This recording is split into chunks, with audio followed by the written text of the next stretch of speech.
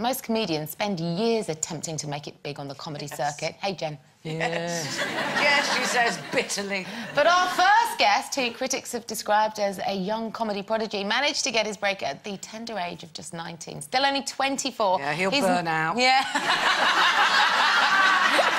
he's proving that he can compete with the big boys in the world of comedy. So much so that he's now hosting Channel 4's latest Saturday night comedy stand-up show.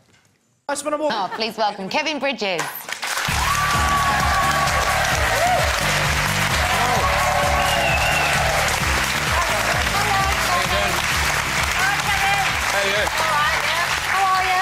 She cut the punchline. We missed the funny bit. Oh, What was the funny bit? Phyllis, Uh, are you I hope there's a funny bit coming up. I'm pretty sure I said something funny at the I end thought of that it. was quite funny. Oh, cheers, Lisa. Cheers. I, I thought it was. I thought it was gets- all right. Ah, no. A bit of feedback appreciated, Jenny. So you get funny. I'm more experienced. You get I'll give funnier than notes. that. It gets much funnier. You need to tune in on Saturday at 20 past 10. So there we go. Job done. It's been a pleasure. So.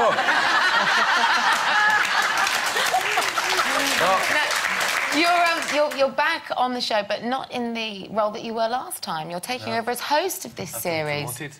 Yeah, you've been promoted. I was the sports correspondent the last series. The idea was uh, England were in the World Cup, so get a Scottish guy who come on and laugh at England every week. And then England get knocked out after two weeks in a six-week series, so there was nothing left for me to do in the last four weeks. so they just changed me to general sport, and it was just... What's happened to the show? Apparently, you've removed all the celebrities from it. Is that right? Is that? Uh, we've yeah? de-celebrated it. Have you cleansed it? Cleansed it. No, it we used, to, down. we used to have a thing, you'd you'd get somebody, a celebrity, come on in the chair, and then you'd go in and roast them, that American thing. Yeah. It's just... But, but it'd be good if we could actually get celebrities, but it was just people like Chico and stuff like that. It's like, it would be quite good if it was like Tom Cruise sitting there or something like that, but we could, it was hardly like, it just And where are failed you Big doing Brother this? People. The stand-up for the week, is it being done in a TV studio audience like this, or have you taken over a proper club? Are you It's doing a it like club. a gig? As you can see, they're mental, the audience. We get loads of Camden type Are they thing. drunk? Are they allowed to drink? Uh, you ask a question and just go, yeah! Is it the same place every week? Same place. Right, so you don't go around the country and get No, different no. reactions from different people? No, just in Camden. Do you, go, do you go down well everywhere around the country Eh, when you do your stand-up? no, I don't. Well, wait, yesterday we had this conversation with Paul O'Grady and Cilla Black because there was a poll released yesterday by comedians. Stand-ups had said that the hardest crowds to play to and get a laugh out of were the Scouse audience, followed by Glaswegians. Would you, would your findings tally up with that, you two? Uh, oh, you're all right in Glasgow. It's sort of home territory for you. Uh, but then there's pressure in Glasgow. Oh, do you crack? Because if you, Do die in Glasgow, pressure? you need to see them the next day in the street. You know, your mum and dad are there on your film. Who, who, who, who took the poll? Who, who did they ask? Oh, who? A load of- a load of stand-ups. Uh, Brad C. Nesbitt and... Um, So Liverpool's the toughest gig, apparently. Apparently, because the Scouse audiences think that they're funnier than the acts they've been paid to see. That's a bit of a stereotype, isn't it? You walk on, this is full of people in perms and moustaches.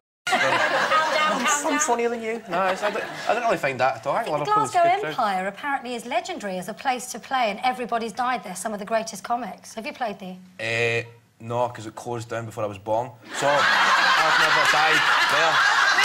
I've never had a, You're showing your age, babe. Yes, I've never had a bad gig in the Glasgow Empire. I, I So he's done very I'm the- well I'm the there. only comic. He's, gone to, he's done It very was well. made famous because Des O'Connor pretended to faint. I think that's what he did. I know I look about 45, but I'm actually 24. Uh, Kevin, The comedy store, the comedy store. you did go down. You, you've kind of broken records back home in Glasgow because you've had the one of the fastest-selling comedy DVDs live in Glasgow. Is that right? yeah. Three hundred thousand copies. 300,000 Is that- copies. yeah, there we go. That's a lot. You're a bit worried about peaking too early. Eh, I think that's.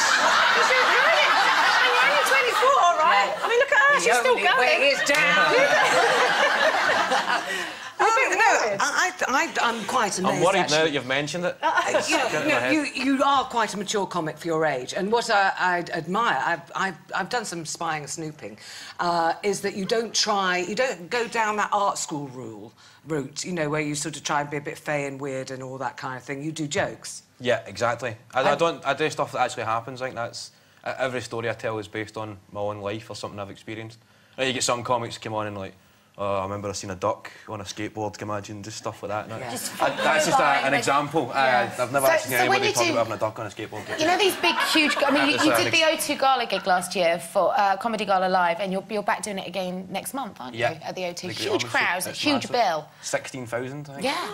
Those So- things don't really work, do they? Uh, She said this because she well, yeah, but what I'm interested in, on a night like that, when you've got all these big, big acts, does it get really competitive between you comics? Of course it Yeah. does. Sure. everyone's at the side rooting each other on. I'd be greasing the stairs. I think there's a reason why I'm never invited to these gigs. Is there still It's the like- top of the bill thing, where the, the most successful goes on last, kind of Well, that thing? used like to be they the- used to do at the Glasgow Empire. Yeah. Before it to- shut down Before it shut down. in 1904. What Thank they've you. done with the, the O2 Gala, they used to have the listings, but they've put them in alphabetical order. So I'm top ah. of the bill, Bridges. So I don't know if it is alphabetical order, maybe it's No, just it's in the terms best. of superiority. but it's 16,000, they're easier gigs, because in front of 16,000, somebody's going to laugh. Yeah.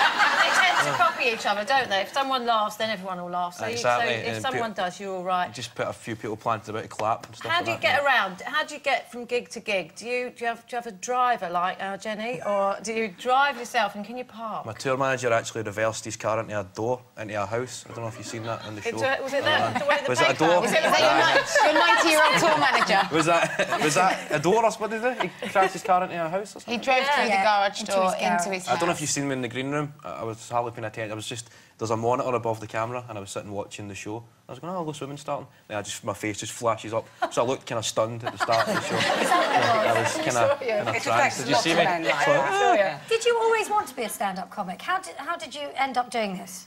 Um, I, I think I was about 16 and I'd read Frank, Frank autobiography and just seen I'd loads in common with him, like always the funny guy in school that always got into trouble, Yeah. but had a bit of your brain and stuff like that. It's Um, a hard job, though, isn't it? Well, it depends how good you are at it. longevity and all It's that. a, a tough job if you're not funny. I think stand-up comedy is. So I just gave it a go one night. and I was 17. I, I'd emailed when I was 16 asking for a spot, Right. and then they got back to me about three months later, and I'd totally forgot I'd even asked for a spot. I That was like, teacher. Stand-up comedy. All right, fair enough. I'll book me in for that. Gave it a go for five minutes, and it went well. Then they phoned the next day, send you another spot, and that was it. Wow. Well, look, look how well it's served you. And, and you're going to be on tomorrow night, Channel 4. What time's the show on? 20 past 10. Well, we'll I've been well it. briefed. It's, it's week six, so they've just moved us to a better spot. Funny time. Listen, come back and 20 see us again, 10. won't It's you? hilarious time. That's what makes the show work. Kevin Bridges, It's the funniest everyone. time in the clock. Aye, cheers. Cheers.